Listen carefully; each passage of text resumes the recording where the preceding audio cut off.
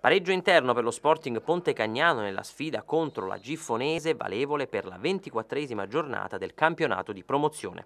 I gialloblu sono stati fermati dai Picentini in piena corsa per la salvezza dopo una partita tutto sommato equilibrata. Giffonese in vantaggio al 25 del primo tempo con Chiancone, bravo ad approfittare di un'incertezza della difesa e ad insaccare di destro. Il gol sveglia i padroni di casa che alzano il baricentro e riescono ad agguantare il pareggio con un rigore di Amato.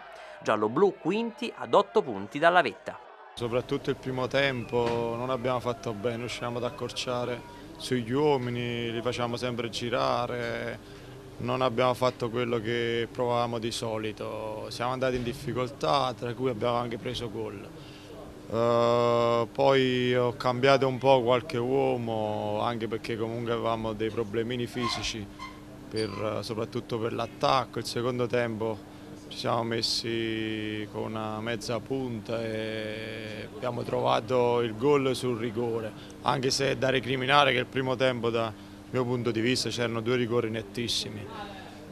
Niente, poi abbiamo cercato di, comunque di mettere su questa partita ma non è andata tutta a buon fine. Abbiamo rischiato di prendere il secondo gol ma nello stesso momento abbiamo avuto tante occasioni davanti al portiere ma abbiamo preso colpito anche una traversa direttamente su punizione ma non siamo riusciti a mettere la palla dentro. C'è tanta recriminazione soprattutto sotto questo punto di vista perché arrivare 6-7 volte davanti al portiere sia da un cross, da, da, una punizione diretta e tutto e non riuscire a spingere questa palla dentro e soprattutto in casa che dovevamo fare punti c'è da ricriminare tanto ho visto una squadra un poco, soprattutto il primo tempo, un po' che non mi è piaciuto, un po' spesa, anche se comunque il vento ha condizionato soprattutto la partita.